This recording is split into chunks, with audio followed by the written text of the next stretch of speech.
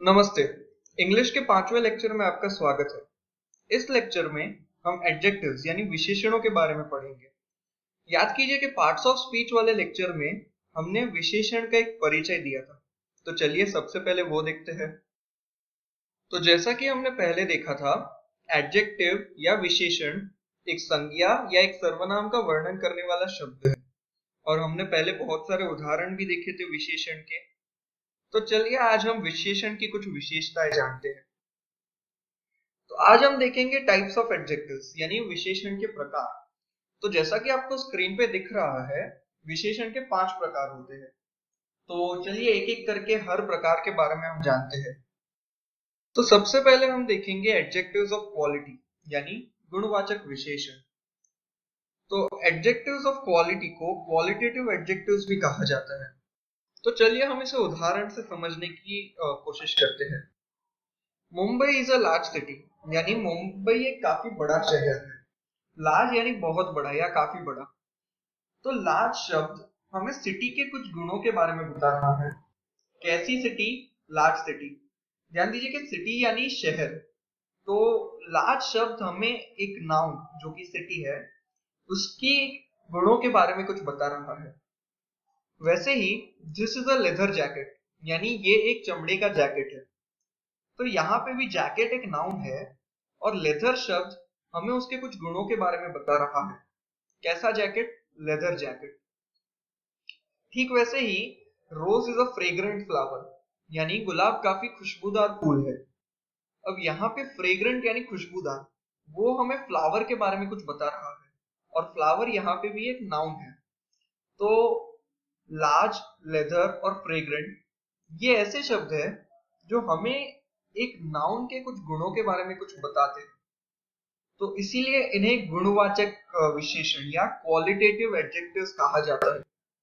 मेरे ख्याल से आप समझ गए होंगे कि क्वालिटेटिव एडजेक्टिव्स यानी क्या।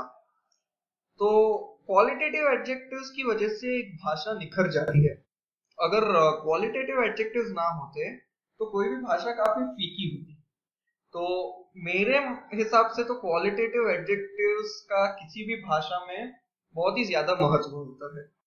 तो चलिए अब आगे बढ़ते हैं। अब हम देखेंगे एडजेक्टिव्स ऑफ़ क्वांटिटी यानी परिमाणवाचक विशेषण।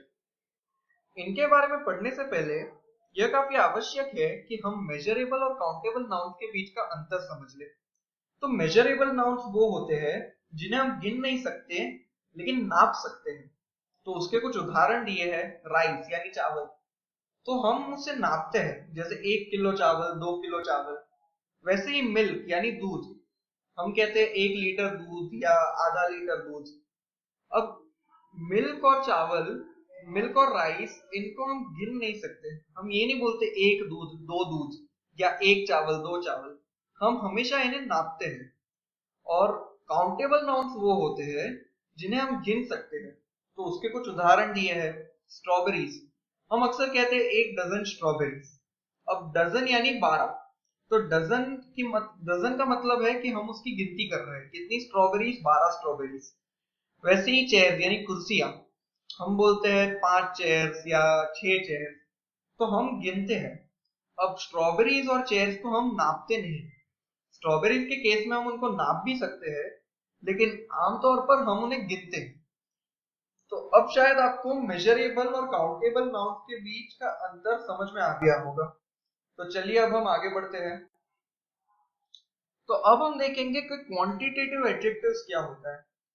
आपको मैंने हिंदी शब्द बताया क्वांटिटेटिव एडजेक्टिव्स यानी परिमाणवाचक विशेषण।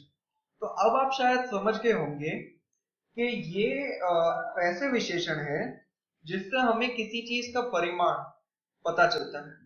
तो चलिए इसके कुछ उदाहरण देखते हैं। ही एट सम फ़ूड अब फ़ूड एक ऐसी चीज़ है जिसे हम नाप सकते हैं, गिन नहीं सकते।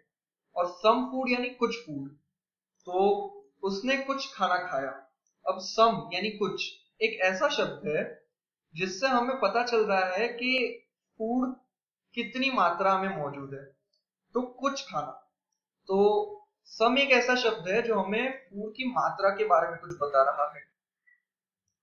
वैसे ही there has been sufficient rain this year अब रेन वापस एक नाउन है और एक ऐसा नाउन है जिसे हम गिन नहीं सकते, नाप सकते हैं। और सफिशियंट यानी जितना चाहिए था उतना। यानी जितनी बारिश चाहिए थी, उतनी बारिश हो गई इस साल। तो सफिशियंट एक ऐसा शब्द है जो वापस हमें बारिश की मात्रा के बारे में कुछ बता रहा है। बारिश कितनी मात्रा में मौजूद है। तो इसीलिए सफिशियंट भी एक ऐसा शब्द है जो हमें रेन की मात्रा के बारे में कुछ बता रहा है। और वैसे ही he lost all his energy यानी, उसने अपनी सारी शक्ति खो दी। अब यहाँ ऑल एक ऐसा शब्द है, जो हमें शक्ति के बारे में कुछ बता रहा है। या अगर ज़्यादा विशेषता में जाओ तो शक्ति की कितनी मात्रा है, उसके बारे में बता रहा है। तो ऑल एक क्वांटिटेटिव एडजेक्टिव है। तो अब आप शायद समझ गए होंगे कि क्वांटिटेटिव एडजेक्टिव्स क्या होते हैं। वे ऐसे शब्द होते हैं जो हमें किसी नाउन जिसे हम नाप सकते हैं, उसकी मात्रा के बारे में थोड़ी जानकारी दे रहा है। अब हम देखते हैं एडजेक्टिव्स ऑफ़ नंबर यानी संख्यावाचक विशेषण। तो adjectives of number qualify countable nouns and pronouns इसका अर्थ है कि एडजेक्टिव्स ऑफ़ नंबर हमें एक ऐसे नाउन या प्रोनाउन की जानकारी देता है जिसे हम गिन सकते हैं। देखिए, यहाँ पे हम गिन सकते हैं, नाप नहीं सकते। और क्वांटिटेटिव एडजेक्टिव्स में हमने कहा था कि वे हमें ऐसे नाउन या प्रोनाउन की जानकारी देते हैं, जिन्हें हम नाप सकते हैं। तो यह काफ़ी इंपॉर्टेंट महत्वपूर्ण अंतर है, जिसे आपको याद रखना चाहिए। तो चलिए अब न्यूमरल एडजेक्टिव्स के थोड़े उदाहरण देखते हैं। तो पहला उदाहरण है थ्री हाउसेस यानी तीन घर। अब यहाँ पे थ्री एक क्वांटिटेटिव न्यूमरल एडजेक्टिव है। क्यों? क्योंकि वो घरों के बारे में कुछ बता रहा है। कितने घर? तीन घर। वैसे ही सम टॉयस यानी कुछ खिलौने। अब सम शब्द हमने पहले भी देखा है। ही एट सम फ़ूड वहाँ तो हमने कहा था कि सम एक परिमाणवाचक विशेषण है क्वांटिटेटिव एडजेक्टिव है। लेकिन यहाँ मैंने न्यूमरल एडजेक्टिव्स के उदाहरणों में सम को रखा। क्यों? क्योंकि सम यहाँ पे खिलौनों के बारे में कुछ बता रहा है और खिलौनों को हम गिन सकते हैं, नाप नहीं सकते। तो वो शब्द क्या है, उससे फ़र्क नहीं पड़ता। वो शब्द किस नाउन के बारे में हमें बता रहा है, उससे फ़र्क पड़ता है। तो पहले सम हमें फ़ूड के बारे में कुछ बता रहा था तो इसलिए वो एक क्वांटिटेटिव एडजेक्टिव था। और यहाँ सम हमें खिलौनों के बारे में कुछ बता रहा है, इसलिए वह न्यूमरल एडजेक्टिव है। तो एडजेक्टिव्स ऑफ़ नंबर के तीन प्रकार होते हैं डेफिनेट इनडेफिनेट और डिस्ट्रीब्यूटिव तो चलिए अब हम एक एक प्रकार को ध्यान से देखते हैं। सबसे पहले definite adjective of number definite numeral adjectives वे होते हैं जो एक एग्जैक्ट नंबर का बोध करते हैं। एग्जैक्ट नंबर यानी क्या? वन टू थ्री या एक दो तीन वगैरह वगैरह। वैसे ही उसमें रोमन नंबर्स uh, भी आ जाते हैं। जैसे फ़र्स्ट सेकेंड थर्ड या पहला, दूसरा, तीसरा, वगैरह वगैरह। तो चलिए इसके कुछ उदाहरण देखते हैं। The hand has five fingers यानी हाथ में पाँच उंगलियाँ होती है। अब यहाँ पे फाइव शब्द से हमें पता चल रहा है कि हाथ में कितनी उंगलियाँ होती है। तो फाइव हमें उंगलियों की संख्या की पूरी तरह से जानकारी दे रहा है।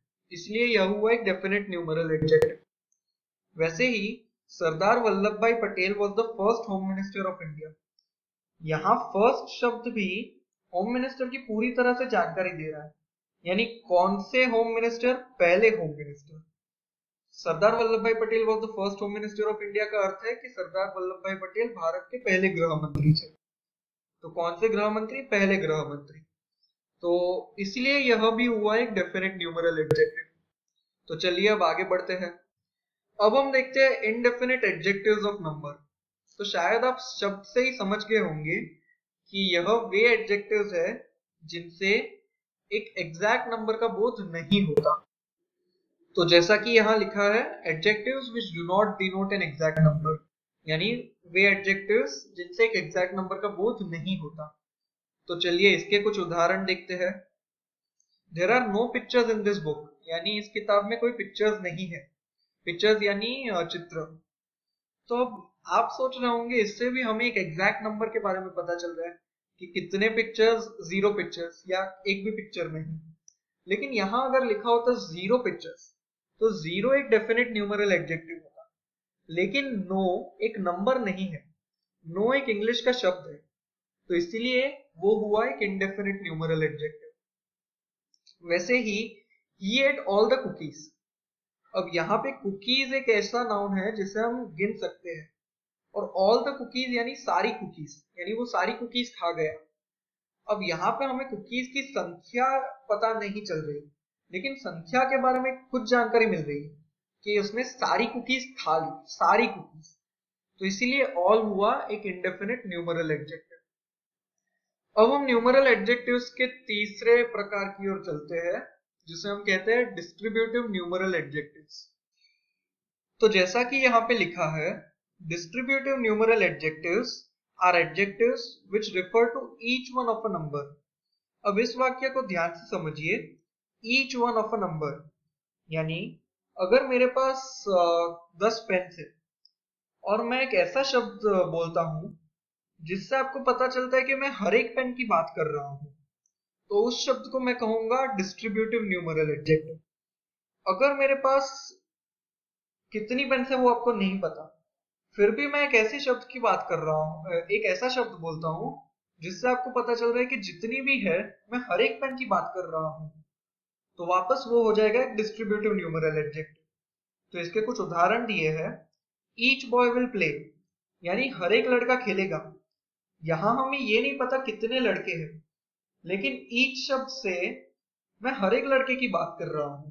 तो इसीलिए ईच हो गया एक डिस्ट्रीब्यूटिव न्यूमरल एडजेक्टिव वैसे ही आइधर पेन विल डू यानी कोई भी पेन चलेगी। तो अब यहाँ भी मेरे को नहीं पता कितनी पेन से लेकिन आइधर से मैं हर एक पेन की बात कर रहा हूँ, कोई भी पेन चलेगी। तो इसीलिए आइधर भी हुआ एक डिस्ट्रीब्यूटिव न्यूमरल एडजेक्टिव और वैसे ही नाइधर स्टेटमेंट इज़ ट्रू यानी कोई भी वाक्य सही नहीं है, यानी नाइधर यानी कोई भी नहीं। तो अब यहाँ भी मेरे को नहीं पता कितने वाक्य है, लेकिन नाइधर से मैं बोल रहा हूँ कि जितने भी वाक्य है, एक भी सही नहीं है। यानी मैं हर एक वाक्य की तरफ़, हर एक वाक्य की बात कर रहा हूँ और बोल रहा हूँ कि एक भी सही नहीं है। तो इसीलिए नाइधर भी हुआ एक डिस्ट्रीब्यूटिव न्यूमरल एडजेक्टिव तो चलिए अब आगे बढ़ते हैं। अब यह चीज़ मैं आपको पहले भी बता चुका हूँ, लेकिन चलिए फिर से एक बार इसकी चर्चा कर लेते हैं। Same word use as a quantitative as well as a numeral adjective तो यहाँ पे, यहाँ लिखा है सम वाटर यानी थोड़ा पानी। अब यहाँ वाटर एक ऐसा नाउन है, जिसे हम नाप सकते हैं, गिन नहीं सकते। तो इसीलिए सम हो गया एक क्वांटिटेटिव एडजेक्टिव और यहाँ पे लिखा है सम कुकीज यानी कुछ बिस्किट्स कुकीज यानी बिस्किट्स तो कुकीज को हम गिन सकते हैं। तो इसीलिए सम हो गया एक न्यूमरल एडजेक्टिव तो यहाँ पे शब्द सेम है सम लेकिन एक जगह पे वो क्वांटिटेटिव एडजेक्टिव है और एक जगह पे न्यूमरल एडजेक्टिव है। तो आपको ध्यान देना चाहिए कि जो नाउन जिसकी बारे में हमें जानकारी मिल रही है, वो नाउन को हम नाप सकते हैं कि गिन सकते हैं। और उसी से आपको पता चलेगा कि एडजेक्टिव क्वांटिटेटिव है कि न्यूमरल है। तो चलिए अब आगे बढ़ते हैं। अब हम देखेंगे demonstrative adjectives demonstrative adjectives point out which person और थिंग इज़ मेंट यानी आसान आसान भाषा में कहूँ तो डेमोन्स्ट्रेटिव एडजेक्टिव्स वे एडजेक्टिव्स है जो किसी नाउन की तरफ़ इशारा करते हैं। यानी हमें पता चल रहा है कि किसी नाउन की तरफ़ इशारा हो रहा है इन शब्दों की वजह से। तो इसके कुछ उदाहरण देखते हैं। यहाँ स्क्रीन पे आपको एक बुक शेल्फ दिख रहा है।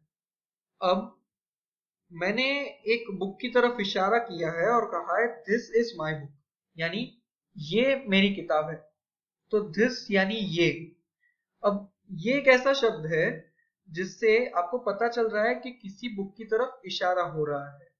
इसीलिए ये हुआ एक डेमोन्स्ट्रेटिव एडजेक्टिव वैसे यहाँ आपको स्क्रीन पे तीन लड़के दिख रहे हैं और मैंने एक की तरफ़ इशारा किया है और कहा है that boy is the naughtiest यानी वो लड़का सबसे शैतान है।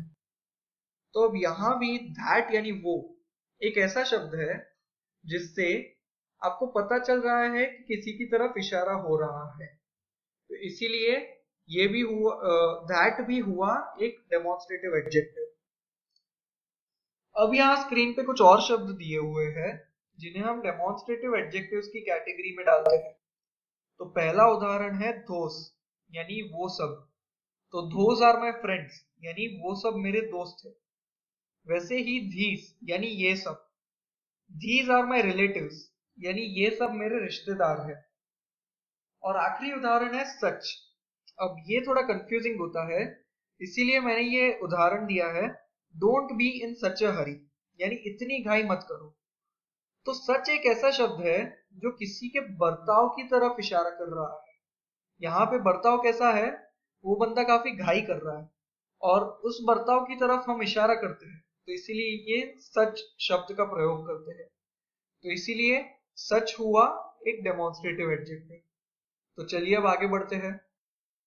अब हम एडजेक्टिव्स का आखिरी प्रकार देखेंगे, जो है इंटरोगेटिव एडजेक्टिव्स यानी प्रश्नवाचक विशेषण। तो इंटरोगेटिव एडजेक्टिव सबसे आसान प्रकार होता है, अगर आपको एग्ज़ाम लिखनी हो तो। तो इसमें सिर्फ़ तीन शब्द होते हैं वॉट विच एंड हुज और ये जब किसी नाउन के पहले आते हैं तो आप आँख बंद करके बोल सकते हो कि ये इंटरोगेटिव एडजेक्टिव का एक उदाहरण है। तो यहाँ भी तीन उदाहरण दिए हैं। दिस यानी ये किसका खिलौना है? तो शब्द यानी किसका वापस खिलौने के बारे में कुछ पूछ रहा है। इस केस में बता नहीं रहा है, लेकिन पूछ रहा है। लेकिन फिर भी उससे हमें पता चल रहा है कि खिलौने की बात हो रही है। तो यहाँ पे हुज हो गया एक इंट्रोगेटिव एडजेक्टिव वैसे ही विच वे शेल वी गो यानी हम कौन से रास्ते जाएँगे? तो विच से वापस हमें रास्ते की बात हो रही है, ये पता चलता है। और व्हाट टाइम इज़ इट यानी समय क्या हुआ? तो व्हाट शब्द से वापस टाइम की बात हो रही है। तो जो शब्द से किसी नाउन के बारे में कुछ चीज़ें पूछी जाती है, और आमतौर पर जो नाउन के पहले आते हैं, वो इंटरोगेटिव एडजेक्टिव्स होते हैं। तो तो आज हमने एडजेक्टिव्स के बारे में तो सीख लिया। अब जैसे कि हमारी हर कक्षा में हम थोड़ी मिसेलिनियस यानी थोड़ी विविध बातें करते हैं जो आपको रोज की बातचीत में काम आएगी। तो आज के लेक्चर में हम सीखेंगे कॉमन ग्रीटिंग्स यानी आम शुभकामनाएँ। तो मैंने आपको स्क्रीन पे थोड़ी आम शुभकामनाएँ लिखी हुई है उनके हिंदी के अर्थ के साथ। तो एक बार आप इन्हें देख लीजिए। पहले पाँच तो आपको पता होंगे। Good morning good afternoon good evening good night और हैप्पी बर्थडे ये तो आमतौर पर हम इस्तेमाल किया करते हैं। बाकी के शायद आपको ना पता तो उसके बाद है कॉन्ग्रेचुलेशन यानी बधाई। तो जब किसी ने कुछ अच्छा काम किया हो या किसी का कुछ किसी के साथ कुछ अच्छा हुआ हो तो हम उसे बधाई देते हैं। तो अंग्रेज़ी में कहते हैं कॉन्ग्रेचुलेशन तो आपका मित्र अगर क्लास में फ़र्स्ट है तो आप उसे बोलते हो कॉन्ग्रेचुलेशन फिर हैप्पी जर्नी यानी शुभ यात्रा शुभ यात्रा। तो अगर कोई घूमने जा रहा हो या किसी काम से कहीं जा रहा हो तो आप उसे बोलते हैं शुभ यात्रा, यानी हैप्पी जर्नी फिर गेट वेल सून यानी जल्दी ठीक हो जाओ। तो ये कोई बीमार हो, उसे कहा जाता है। टेक केयर यानी ध्यान रखना। ये आमतौर पर हम अपने दोस्तों को कहते रहते हैं। सी यू सून यानी जल्दी फिर मिलेंगे। तो यहाँ पे भी कोई अगर दूर जा रहा हो आपसे तो उससे आप बोलते हम लोग वापस मिलेंगे। तो उसके लिए अंग्रेज़ी में कहते हैं सी यू सून फिर good luck best of luck all the best ये आम शुभकामनाएँ हैं, जो आमतौर पर हम एग्ज़ाम के पहले लोगों को बताते हैं। और वेलकम यानी स्वागत। तो कोई मेहमान आपके घर पे आए हो तो उसका स्वागत करने के लिए आप अक्सर बोलते हैं वेलकम आपने देखा होगा कि लोगों के घर के बाहर जो मैट रख रखी रहती है, उस पे भी काफ़ी बार वेलकम लिखा होता है, जिसका अर्थ होता है स्वागत। तो आज का लेक्चर तो हो गया। अब हम, हमने जो पिछले लेक्चर में आपको एग्ज़ाम दी थी, उसके सॉल्यूशंस डिस्कस करेंगे। तो पिछले लेक्चर में मैंने आपको सात शब्द दिए थे, और कहा था कि इनके सिंगुलर लिखो, यानी इनके एक वचन लिखो। और मैंने उम्मीद की थी कि पिछले लेक्चर में सिंगुलर से प्लूरल बनाने के जो नियम हमने डिस्कस किए थे, उसको आपने इस्तेमाल किए होंगे प्लूरल से सिंगुलर लाने के लिए।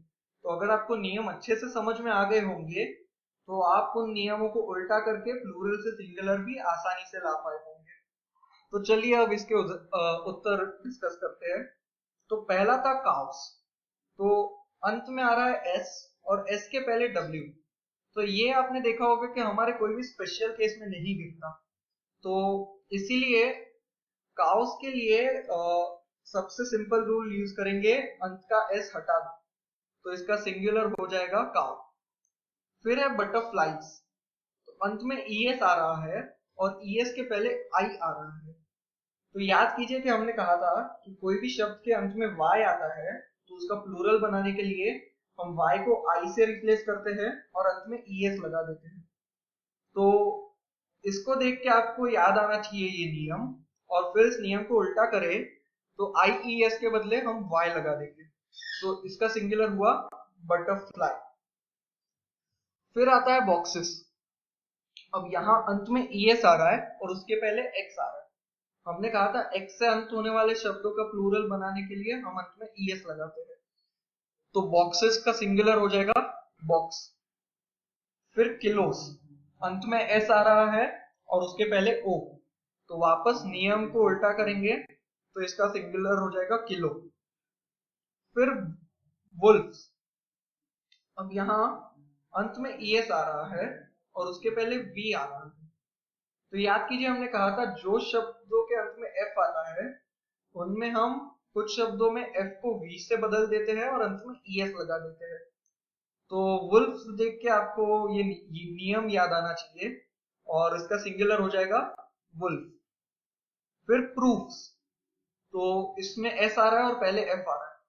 तो मैंने आपको बताया था कि मैंने आपको एक लिस्ट दी थी कि जो शब्दों के अंत में एफ़ आ रहा है और उनमें एफ़ को वी से रिप्लेस करना है और फिर ई एस लगाना है। ऐसे, ऐसा किन किन शब्दों में करना है, उसकी लिस्ट दी थी मैंने आपको। और बाकी सब शब्दों में अंत में सिर्फ़ एस लगाना था। तो ये उसी का उदाहरण है। तो इसमें एस हटा देंगे और बन जाएगा प्रूफ और अंत में फायरमैन तो याद कीजिए कि हमने जब देखा था कि थोड़े ऐसे नाउन्स होते हैं, जिनका प्लूरल बनाने के लिए हम वॉवेल चेंज करते हैं। तो मैन का प्लूरल था मेन तो यहाँ फायर मैन देख के आपको वो नियम याद आना चाहिए। तो इसका सिंगुलर हो जाएगा फायर मैन तो चलिए आज का लेक्चर समाप्त हुआ। हम आपको मिलेंगे एक अगले लेक्चर में, एक नए वीडियो में। धन्यवाद।